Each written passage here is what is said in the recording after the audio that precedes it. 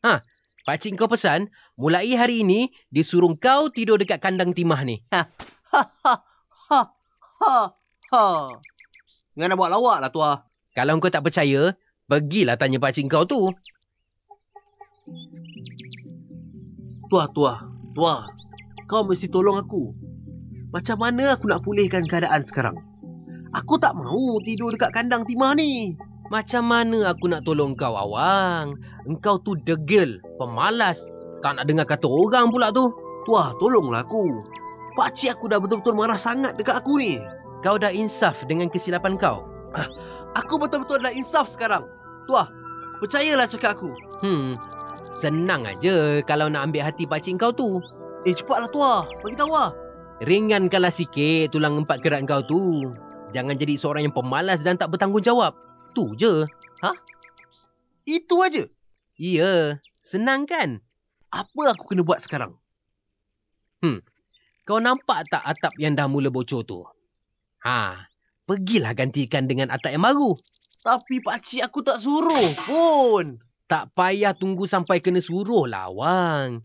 Kau nak ambil hati pakcik kau tu kan? Kalau macam tu, aku baiki atap tu sekarang juga. Ha, macam tu lah, Wang. Eh, mana datang bunyinya tu? Hei, siapa yang ketuk atap rumah aku? Hei, Wang. Kamu buat apa kat atas bumbung tu? Tengah baiki atap bocor pakcik. Dah siapa suruh? Tak ada orang suruh pun. Saya nak buat sendiri. Ha. Hai, mimpi apa pula si Awang tu? Selama ni, aku tak pernah tengok awang bersungguh-sungguh kerja keras. Amboi, rajinnya kau orang. Kau nak kita orang tolong tak?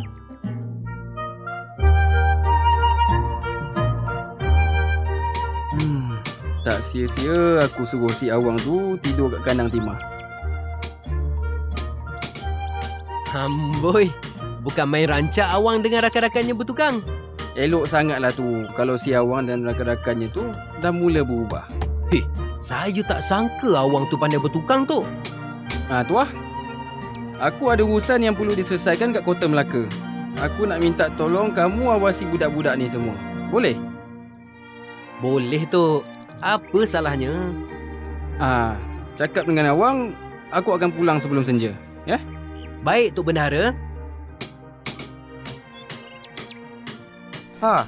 Tak sangka pula aku awang dengan rakan-rakan dia pandai bertukang.